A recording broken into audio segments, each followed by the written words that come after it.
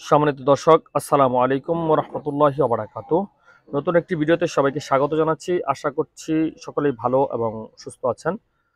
তো বন্ধুরা ফ্লুস্টার যা মূলত হচ্ছে ফ্লুক্লক্সা সিলিন গ্রুপের একটি ওষুধ, যা ড্রাই পাউডার ফর সাসপেনশন মানে হচ্ছে এটা একটা পাউডার ওষুধ।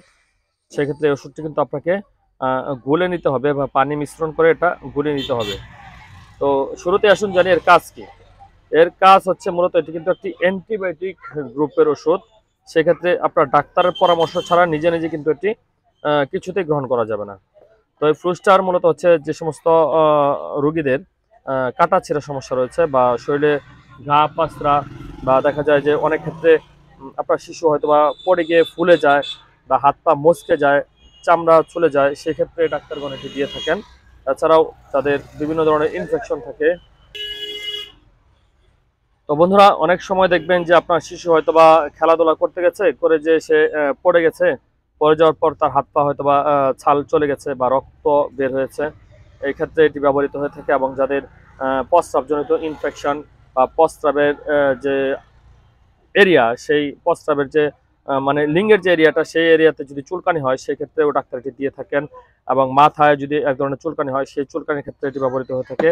মূলত হচ্ছে এটি একটি গ্রাম নেগেটিভ জীবাণুর বিরুদ্ধে কার্যকরী একটি খুবই গুরুত্বপূর্ণ ওষুধ আপনার শরীরের ত্বকে বা চামড়ায় বা মাংসে যে কোনো প্রকারের ইনফেকশন বা ঘা পাসরা বা ক্ষত হলে সেই ক্ষেত্রে এই ওষুধটি কিন্তু ডাক্তারগণ দিয়ে থাকেন। এছাড়াও দেখা যায় অনেকে নাক দিয়ে রক্ত পড়ে বা পড়ে গিয়ে দেখা যায় আপনার বাচ্চার নাক দিয়ে হয়তো বা ব্লিডিং হচ্ছে সেই ক্ষেত্রেও ডাক্তার এটি কিন্তু দিতে পারেন।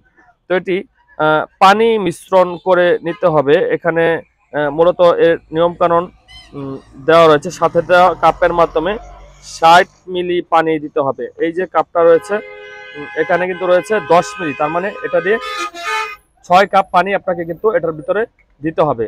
আর পানি মিশ্রণের পূর্বে অবশ্যই আপনারা এটাকে ঝাঁকিয়ে নেবেন, কারণ হচ্ছে অনেক সময় দেখা যায় পাউডারটা কিন্তু মিশ্রণ হয় না, জমাট জমাট বেঁধে থাকে। সেক্ষেত্রে আপনারা এটা দিয়ে ষাট এম মানে এখানে দশ যেহেতু, সেহেতু ছয় কাপ পানি দিয়ে আপনাকে এটা মিশ্রণ করে নিতে হবে। আর প্রতিবার খাওয়ার পূর্বে অবশ্যই ঝাঁকিয়ে তারপর খেতে হবে, কারণ এটি একটি কিন্তু সাসপেনশন জাতীয় ওষুধ।